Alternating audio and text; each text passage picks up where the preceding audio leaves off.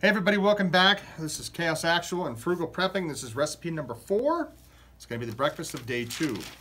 And you don't have to do this. It's just kind of how I organize it in my mind. So what we're going to do today, or this recipe, it's going to be my biscuits and gravy. Um, I will say that I usually add, uh, I do four scrambled eggs on the side and then add it to the biscuits and gravy. It actually adds a really cool kind of depth and flavor to the biscuits and gravy. But this is how I make my biscuits and gravy. Um, but you can do it however you want, but this is just how I do it. Um, the recipe that I have written down is basically the basic, basic, basic biscuit, sausage, milk, and flour. Now, usually what I'll do is while I'm, I'm cooking the sausage, I'll add a half an onion, so what, 30 cents, uh, and I'll add four eggs, so you're talking what, a quarter? So I'm only increasing the recipe by a quarter.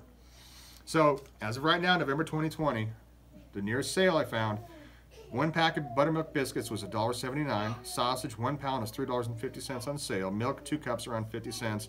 Flour, quarter cup, 18 cents. And then if I add the onion and the, and the eggs, um, what up another 50 cents. So biscuits and gravy, big hearty recipe, more than enough for four, four people.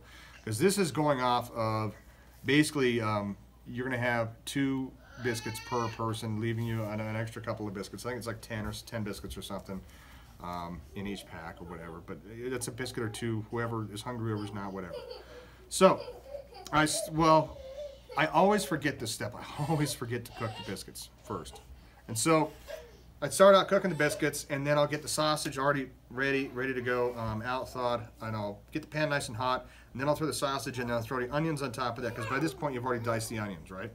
So like I said, this is my recipe. It's a little, little different. Then I'm going to do, I've talked about it before, is uh, like a Montreal, my Montreal steak style sausage. It's going to be red pepper flakes, black pepper. Uh, I'm going to have some roasted cumin seed I'm going to grind up. And I'll do some rub sage on there and then a little bit of salt. And then I'll throw that on top. And then as the sausage is cooking underneath, we're, we're browning the sausage. We're not making it gray, we're making it brown because you need that color for the flavor. So then I'll fold it in on itself, fold it over, and I'll start chopping it up right? And then I get all of the seasonings and flavors in there all mixed together at the same time. Um, at the same, I've got my four eggs already waiting in a separate uh, dish. I've already scrambled them and I've got cubes of butter put in there because as it's cooking, that butter slowly melts and that gives you a creamier scrambled egg. Um, it's not as creamy as if you use like uh, heavy whipping cream or something like that. But then I'll put, you know, I'll do like uh, two tablespoons of butter in, in one of my cast iron skillets and then when the gravy's sausage is about done, that's when I'll mix, I'll start the eggs. And I'll start pulling back, pulling back, pulling back, pulling back. Then I'll go get uh, two cups of milk, and I'll have it in a separate container. And then I'll slowly pour that in to the sausage as it starts building up. And then that's, yeah, because you want to, what I'm doing is I'm cooking all of the gravy in one pan because I want all that flavor from all of those ingredients with sausage. Because if I just if I just cook the sausage in that pan and then pull it out and say, okay, I'm done with it, wash, I'm washing all not only the sausage flavor, but all those seasonings that we just put in there, right? So I'll put the, the milk in that. I'll, I'll save some milk aside, like a quarter cup, to make our gravy with. And so I want that milk, and you're going to stir it a couple of times too as well, and not have it on high heat, like a low heat, and, and start medium to low heat because you want it to start uh, boiling slowly because you don't want to burn the milk on the bottom.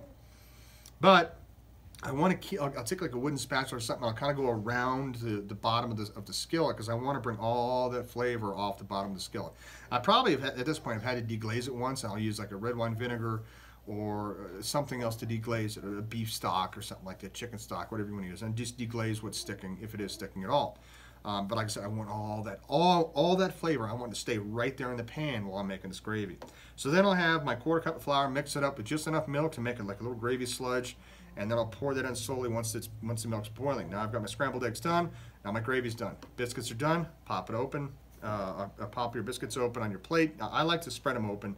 Uh, some people can do whatever they want. I just like to pull the biscuit open because then I've got more area for my sausage gravy because you know I'm fat kid. I love that stuff. So you know my my biscuits and gravy recipe is a little different. If that's uh, if you don't want to do it, you can always do this and just heat it up, add a couple of extra seasonings, pepper, black pepper works really good on this. Um, but yeah, we're at $1.50 per person basically for breakfast.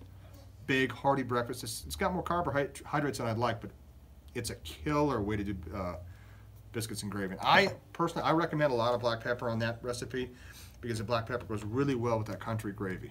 Um, so yeah, biscuits and gravy. Done. Please share the video, like and subscribe, and I'll see you on the next one.